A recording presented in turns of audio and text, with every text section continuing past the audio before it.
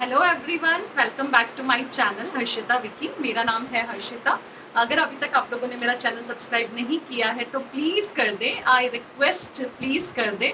अगर आप लोगों का प्यार और सपोर्ट मिलेगा तो ही मैं आप लोगों के सामने आती रहूँगी और वीडियोज़ लाती रहूँगी। तो आज मैं आप लोगों के साथ शेयर करने वाली हूँ स्किन केयर रेंज जो आपके किचन में अवेलेबल है।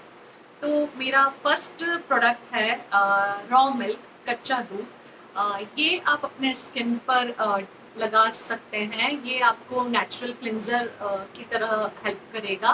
नेचुरल मॉइस्चराइज़र है, ये आपकी स्किन को मॉइस्चराइज रखता है। और ये सभी स्किन टाइप्स के लिए अच्छा प्रोडक्ट है। अच्छा इंग्रेडिएंट है। तो आप इसको अपने स्किन पर लगा सकते हैं। दूसरा मेरा स्किन केयर जो मैं बताने वाली हूँ, वो है आपका बेसन। बेसन को आप आ, मलाई और हल्दी डालकर लगा सकते हैं। मलाई सूट नहीं करता है तो दही गाढ़ा दही आप डालकर लगा सकते हैं। और दही भी नहीं सूट करता है तो कच्चा दूध आप उसकी जगह पे यूज़ कर सकते हैं। तो ये बे, बेसन कच्चा दूध और हल्दी जो भी आपको ये तीनों इंग्रेडिएंट्स में से सूट करता है आप वो इसको लगा सकते हैं अपने फेस पर। आप इसको मसाज करिए अच्छे से और इसको उसके 10-15 मिनट के बाद आप वॉश कर लीजिए। तो ये भी आपके किचन में अवेलेबल है।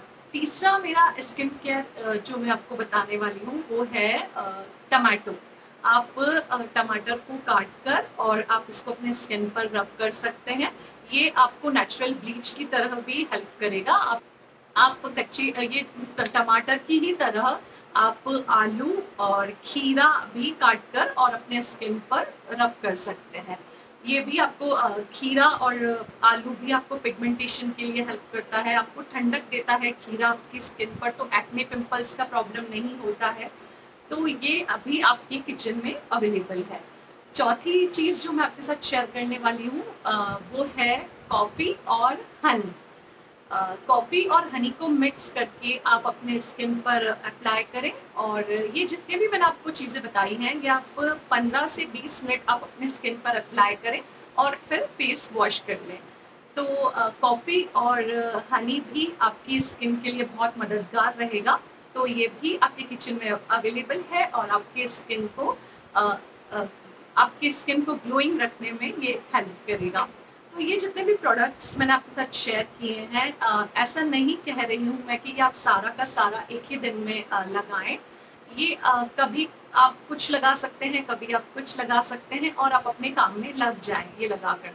तो 10 से 15 मिनट आप लगाएँ 15 से 20 मिनट आप इसको लगाएँ और आप अपने काम में लग जाएँ ताकि आपकी स्किन भी स्किन भी काम करती रहे और आपका भी काम चलता रहे और दोनों इसी तरह से आपके काम होते रहेंगे स्किन भी ग्लोइंग होती रहेगी और काम भी चलते रहेंगे।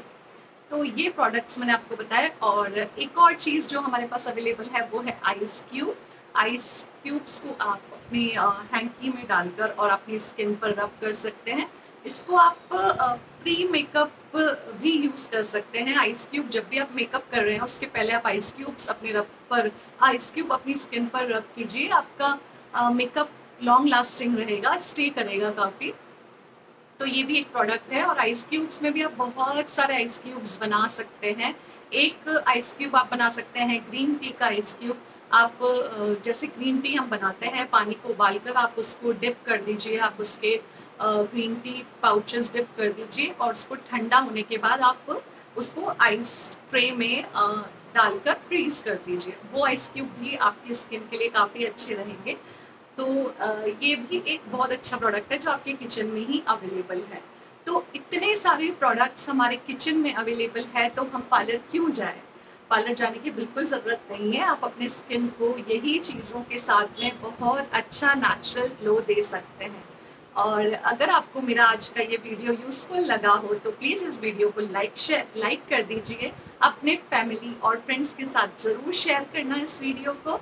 और यस प्लीज़ मेरा चैनल ज़रूर सब्सक्राइब करें बेल आइकन को प्रेस कर दें ताकि आपको मेरे आगे आने वाले वीडियोस की नोटिफिकेशंस मिलते रहें। प्लीज़ प्लीज़ प्लीज़ मेरे चैनल को ज़रूर सब्सक्राइब करें। Thanks thanks for watching this video आपसे मैं मिलती हूँ नेक्स्ट वीडियो में. Till then bye bye love you take care bye